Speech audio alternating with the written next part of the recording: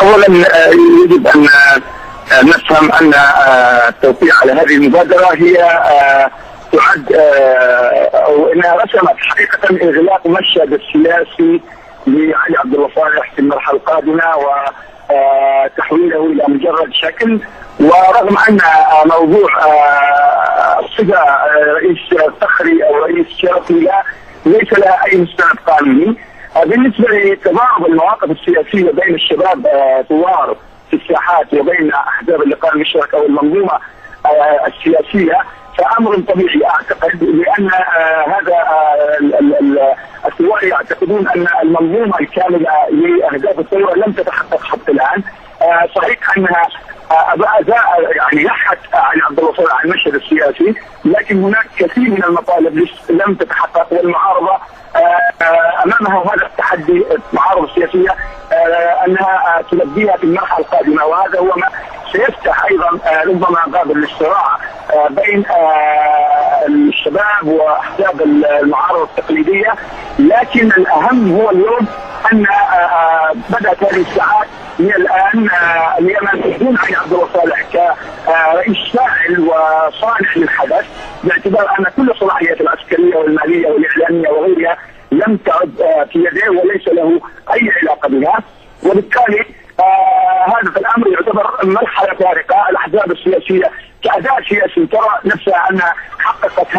استراتيجي لثوره فبراير وهو الرحيل أو الإبعاد عن التنحي عن الحكم لكن آه الشباب آه كان هذا هدفهم الاستراتيجي لكن بعد أن ارتكبت سلسلة من القتل والجرائم التي ارتكبت بحق المعتصمين صار من الأهداف الاستراتيجيه أيضا محاكمة الذين ارتكبوا هذه الجرائم وعلى رأسهم طبعا صالح سعيد.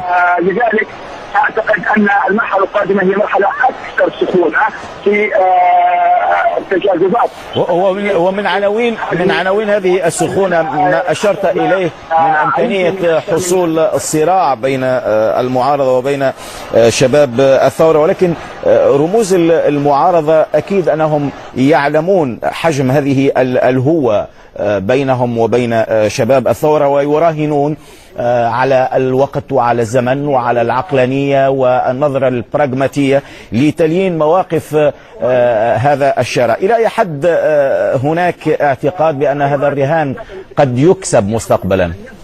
أن ذلك شبه مؤكد أنه لن يعود وإنما كان هذا التخريج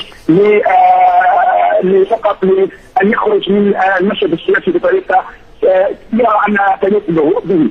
هذا هو الآن. الآن انتقل الخلاف والتجاذب بصراحة بصراحة من مباشرة بين الشباب الثوار في الساحات وعلي عبد بالتحديد وعائلته إلى يلجأ إلى ذلك الأحزاب التقليديه المعارضة. ستظل في تحدي بان تلبي مطالب الشباب من خلال تأمين محاكمه عادله لعلي عبد الله صالح. وهذا ما أكدته حتى الامم المتحدة باعتبار أن ليس هناك أي حصانة أو ضمانة فيما يتعلق بجرائم القتل، لذلك أعتقد أن هذا هو المطلب الاستراتيجي بالنسبة لثوار الشباب تجاه الحكومة القادمة. وأيضا آه تشكيل آه اليمن الجديد الذي طالب به الشباب من دون من توفق كما يقولون آه أيديهم بالدماء.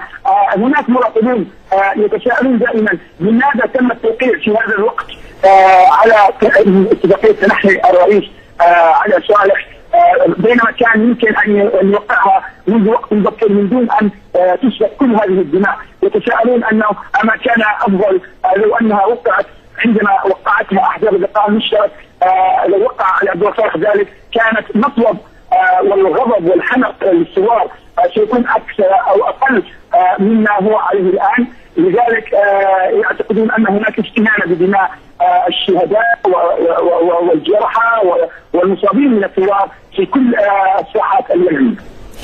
يعني هذه التجاذبات وهذا الصراع المحتمل كيف أي شكل يمكن أن يتخذ مستقبلا سعيد؟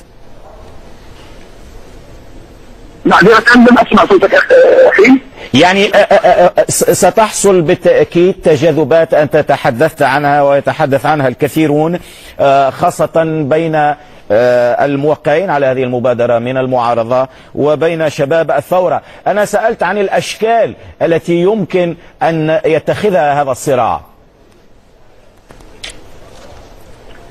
يعني هو هو هو التوقعات الآن انها ستستمر اولا التصعيد السير في الساحات، الشباب لن لن يتركوا الساحات، ستظل مسألة المطلب الرئيسي بتسليم صالح للمحاكمة هذا مطلب وهو عنوان المرحلة القادمة، كان العنوان الابرز هو رحيل صالح، اليوم هو العنوان الأبرز هو محاكمة صالح وعائلته وأبنائه الذين ارتكبوا كما يقولون الشباب الثوره جرائم قتل بحق المعتصمين، هذا هو العنوان الأبرز وبالتالي الضغط سيؤدي في اعتقادي إلى أن تخضع الحكومة القادمة لمطالب الشباب في الساحات اشكرك أشكرك سعيد سعيد ثابت. سأعود إليك مدير مكتبنا في اليمن. سأعود إليك لاحقا. أعود مباشرة إلى القاهرة إلى